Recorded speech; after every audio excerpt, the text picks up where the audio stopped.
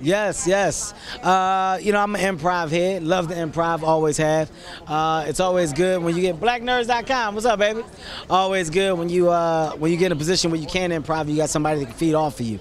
Cube was great at that. Our chemistry was great. Because of that, we got so much stuff, man. Uh, so many levels in this film, and uh, I think people are going to want to see more. Uh, uh.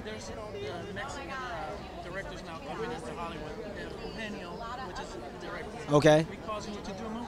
Um, well, you know, I want to educate myself on it further. What has he done? Is he the guy from Batteries Included? No. Yes. Yes. Funny. That guy's funny. I saw the movie. The movie was great, and I heard he done so much, uh, you know, in Mexico, and he's huge over there. So of course, man, it's always about branding and putting yourself in different situations where you can widen your horizon. That's somebody that I would love to meet, man. Talented guy. I'm glad I got it right though. I thought that's what you were talking about. The other thing, can you invite the Latinos to come and watch? Oh, please do, man.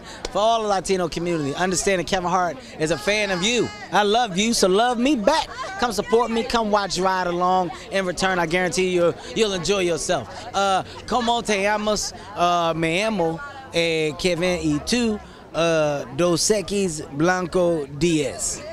I think I just told everybody. I told everybody Happy New Year and have a good day.